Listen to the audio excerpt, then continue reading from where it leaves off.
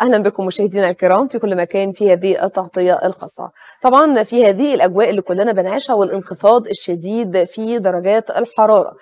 بيشعر البعض أحيانا ببرودة في الأطراف. محتاجين نعرف تفاصيل كثيرة هيكون معانا ضيفنا دكتور أمجد الحداد استشاري المناعة والحساسية. أهلا بحضرتك يا دكتور أمجد. أهلا بحضرتك واهلا بالسادة مشاهدي اليوم السابع. أهلا بحضرتك. طبعا طبيعي جدا إنه في هذه الأجواء الشتوية إن إحنا نشعر بالبرد لكن بعض الأشخاص دونا عن غيرهم يعني ممكن البعض يشعر ببرودة شديدة في الأطراف. هل ده بيرجع لإيه إيه الأسباب؟ هل ده ضعف نقص في المناعة؟ محتاجين نعرف من حضرتك. طب خلينا نقسم الأشخاص اللي ممكن يكون عندهم شعور بالبروده العام أكثر من غيرهم. م. اولا مرضى الغدة الدرقية سواء كان الهبوط الحاد فيها أو الزيادة. قد يشعر الشخص بنوع من البرودة الشديدة لأن الغدة الدرقية من المشهور عنها أنها تعتاد حرق الدهون وحرق الجسم وعوامل الغيظ. بعض مرضى الغدة الدرقية قد يكون عندهم إحساس زائد بالبرودة عن غيرهم من المرضى الآخرين.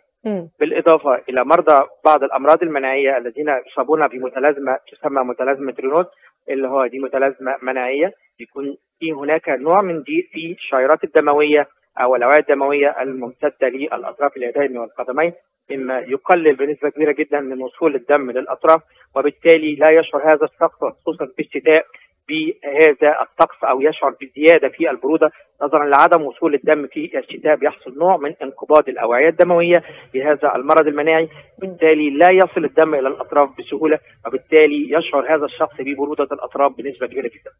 بالإضافة للأمراض المناعية هناك بعض الأشخاص لديهم نوع من الانقباض في الاوعيه الدموية بفضل الشتاء خصوصا بدون أن يكون هناك مشكلة مناعية كنوع من الالتهاب في الاوعيه الدموية الطرفية التي تمد الأطراف بالدم وبالتالي يشعر هذا هؤلاء المرضى بهذا النوع من البرودة المفرطة في فصل الشتاء. في بعض هذه الأشخاص لديهم أحد الأمراض المناعية. بعض هذه الاشخاص لديهم مشاكل في الأوعية الدموية بعض هذه الأفراد لديهم مشاكل في الغدة الدرقية مما يشعرهم ببروده الطقس أكثر من غيرهم.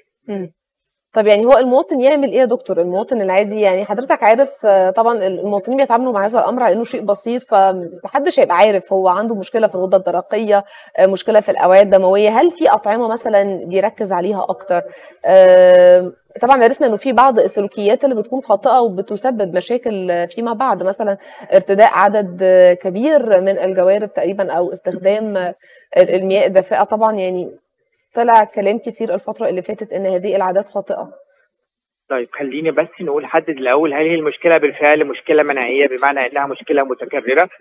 وهذا الضيق يؤدي إلى إزرقاق أو زرقان في الأطراف ولا لأ؟ فده للأسف يجب أن يتوجه إلى طبيب متخصص لعمل الفحوصات اللازمة لتحديد نوع المرض المناعي المصاب به وبالتالي أخذ العلاج اللازم.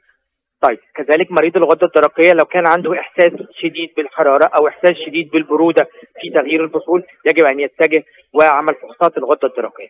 طب طيب. الحالات العامة اللي هي الناس بقى في عدم تدفق للدم في الأطراف ده اللي ممكن لهم نصائح عملي إيه هي النصائح العامة اللي إحنا هنقولها لهم؟ اولا تدفئه الأطراف جيدا ده يساعد بنسبة كبيرة جدا في وصول الدم إلى الأطراف وبالتالي عدم الإحساس بالبرودة. يبقى تدفئة الأطراف عن طريق ارتداء الملابس القطنيه أو الصوفية في الأطراف مثل الجوانتيات أو الشرابات ده يساعد إلى وصول الدم، التدفئة توسع الشعيرات الدموية والأوعية الدموية وبالتالي يصل الدم إلى الأطراف. هناك بعض العقاقير أيضا يتم أخذها مشهور عنها أنها تساعد بنسبة كبيرة جدا إلى تدفق الدم للأطراف وتوسع الشعيرات الدموية والأوعية الدموية المتصله بالأطراف وبالتالي يصل الدم إلى الأطراف بصورة جيدة جدا وبالتالي يحدث نوع من التحسن الشديد.